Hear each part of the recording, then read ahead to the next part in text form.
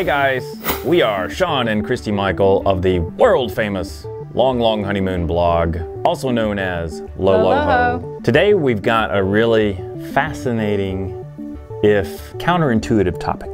We're going to give you our top 13 tips for successful overnight parking your RV in a Walmart parking lot. And I know that there are some of you out there right now who are having a very negative reaction. You're saying, Sean, that is the worst idea for a camping topic I've ever heard. Bear with me for a moment. Yes, in theory, ideally, it would be nice if every day uh, you were able to park your RV on a beach, at the Grand Canyon, maybe in Yellowstone or Glacier, maybe up in Alaska, and uh, birds would be singing and greeting you every morning, and your coffee would always be hot. So, you know, yes, in a perfect world, we'd like to stay in national parks every day too.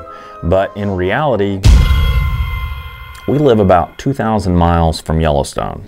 So there's a lot of ground to cover between here and the park. And we do stay in a lot of independently run campgrounds that are really nice that we really enjoy. So we're not telling you to not do that, but you know, sometimes if you're just trying to get from point A to point B and you don't have a lot of time to linger, trying to make the most of your day of driving, overnight parking is your best option and it's safer for everyone because you know, you can stop when you're tired.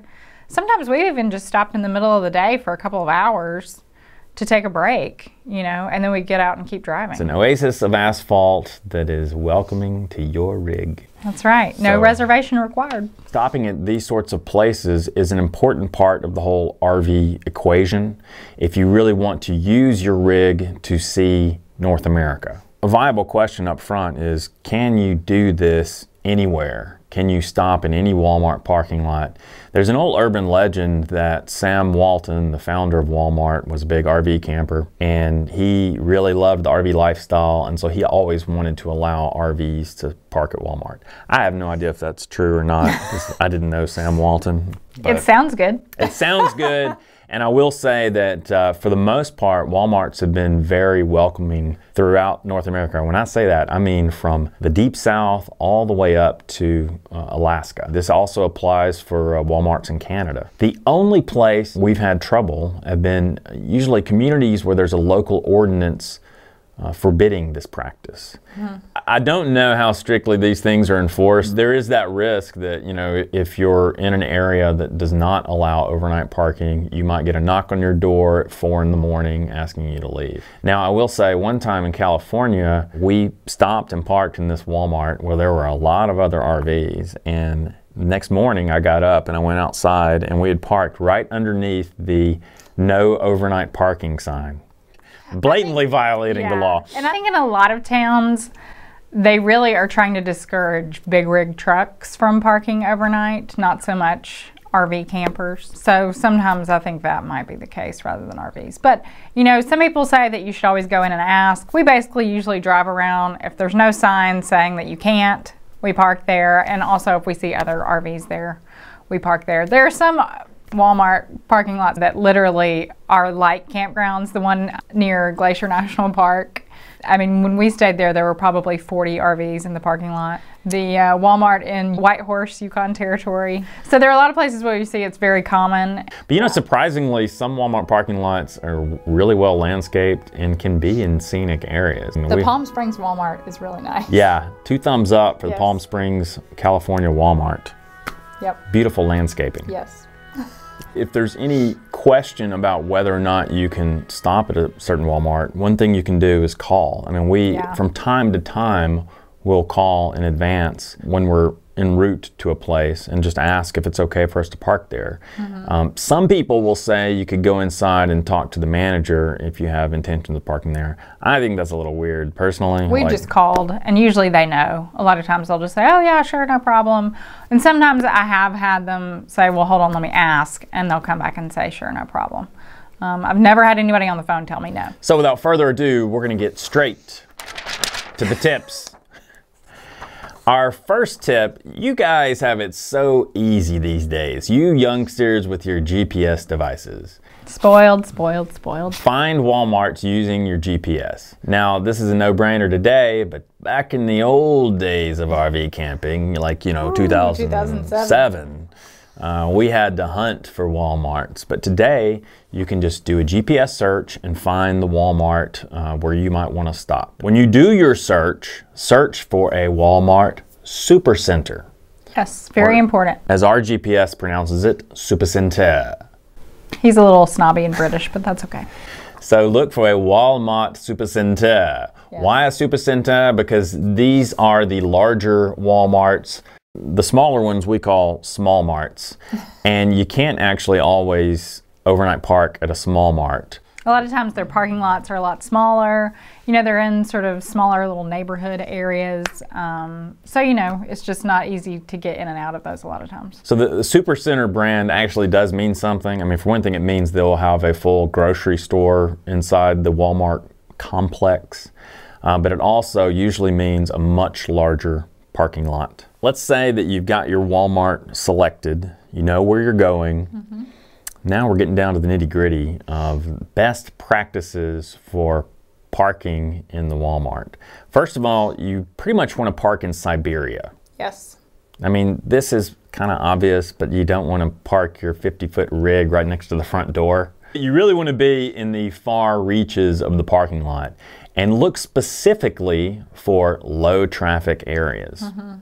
And what do I mean by low traffic areas? Well, if you size up pretty much any Walmart parking lot, you can quickly ascertain where the traffic is flowing. You know, the in and out, the in and exit.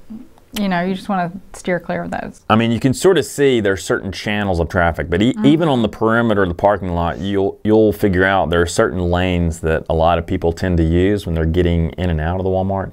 You want to be away from those, mainly because it protects you from the incompetence of your fellow drivers. because people have been known to wreck their cars into parked, Parked cars vehicles. and parked vehicles, and you know you don't want to be Sleeping, in the back of your rig and have somebody drive through your living room. Of course, it's good for Walmart. You're not taking up a lot of parking spaces right next to the door because that's where everybody wants to park. So Sure. we look for those low traffic areas and we look for a buffer or edge area. And now we don't always park on the edge, but quite often the far perimeter of the parking lot is the best choice. When you have that buffer of a curb on one side, well, it just protects you. There's not going to be any traffic on that side. And by the way, it's quieter for you also. Sure. I mean, you're not listening to cars drive past. And somebody's not going to come park right next to your rig at six in the morning on their way to work and slam their door and wake you up. Or, Although you'd be surprised. yeah, this is true. you would think sometimes you're in this huge expanse of a parking lot and there's like a million spaces, and then some guy pulls in right in front of, of the front of our rig. So it's like to get out, we have to back out. And I remember one time uh, we were at a Walmart parking lot in South Carolina, and um, we were awakened at like six in the morning on a Saturday. by the local humane society was like having a Spay and neuter clinic. spay and neuter clinic. And the drop off was set up literally like four feet from our back bumper. So we woke up to all these dogs barking and like, like- cats meowing. I mean, it was just like, what is going the on? The hell is going on? And like it was a huge expanse of parking lot, and they set this thing up right outside our window. I don't know, but so you'd be surprised what might happen. But Yeah. anyway, parking in Siberia helps you avoid those type of situations usually. And sometimes, you know, we like to park under the large lights in the parking lot, just one for safety, you know, so you're sort of illuminated there. It's it's another buffer. And sometimes the little, you know, curbed areas with trees in them. Yeah, if you can't park on the edge, you look for those little buffer zones that are laid out through the landscaping and so forth throughout the parking lot. In our philosophy, there is strength and safety in numbers. Uh, in other words, usually when you're Walmart overnight parking, you will see other RVs doing the same thing, especially in certain parts of the country. Yes. So we usually park in the little RV neighborhood that tends to crop up late afternoon, early evening in these certain Walmart parking lots. I always feel better if you see some other RV travelers uh, kind of in your vicinity. Right. next tip. Walmart parking lots are not terribly level. so this is a lesson that you'll probably figure out one time, but you want to park so that your headboard of your bed is angled in the upwards direction. Yeah, you don't want your feet above your head. So, no. however your bed is configured in your rig, ours is actually kind of sideways. Ours isn't front to back, it's sideways. So, really, that side to side level makes a big difference for our head and our feet. If your bed is, you know, front to back in your rig, then it's probably a little less of an issue. You're worried about rolling off your bed or, you know, right. rolling into your partner or whatever. So, take that into consideration just yeah. for your own personal comfort. You know, you, you don't want to be sleeping like this. I mean, maybe you do. I might like that. Next tip be a good guest. You are not camping no. in the Walmart parking lot. You You're parking. Overnight parking. This is not a tailgate session. Don't break out your grill or like fire up your stereo or whatever you normally would do at a tailgate. It's kind of a violation of etiquette to extend your awning. Don't put down your stabilizer jacks. Mm uh, things like that. You don't want to look like you're like Living setting there. up for the long term. no flamingos, no potted plants, no flags, no flags, no rugs. Sorry. Yeah, lawn chairs. Campfires are frowned upon. Yeah. You want to look like you're overnight parking. You park, you're going to rest, and then the next morning you move on. Mm-hmm. Walmart doesn't have to allow us to park there overnight. They allow RV campers to do it for a variety of reasons, but we want to be good citizens and good guests and be on our best behavior. And so, not only do you not litter, from time to time, if you see litter, you might even pick it up and toss it in one of the many available receptacles. the funny thing about RV uh, Walmart parking lots is a lot of times you have to be prepared for this. In the middle of the night, sometimes they have um, street sweepers that come through and actually clean their parking lots. So if you hear that in the middle of the night, don't be alarmed. That's right. That's part of the entire uh, ambiance of the yes. Walmart parking lot at five in the morning. Believe me.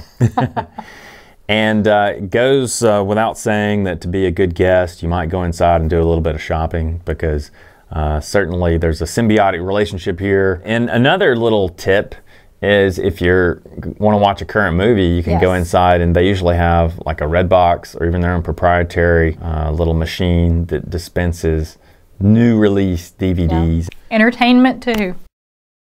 So I want to talk for just a minute about safety because safety is always an important consideration. Yes. Always carry an AK-47. no, no, no, no, just kidding, kid. We have stopped overnight at Walmart parking lots throughout the country mm-hmm. and have had very few issues. I can think of maybe two different occasions yeah, when we felt that our spidey sense was going off, that something was wrong in the parking lot, that it, it was not a place to linger. When we detected that there might be a problem, guess what we did? We left. Yep. Our rig has wheels. And that's what I advise for you to do if your intuition is telling you that it might not be a safe area.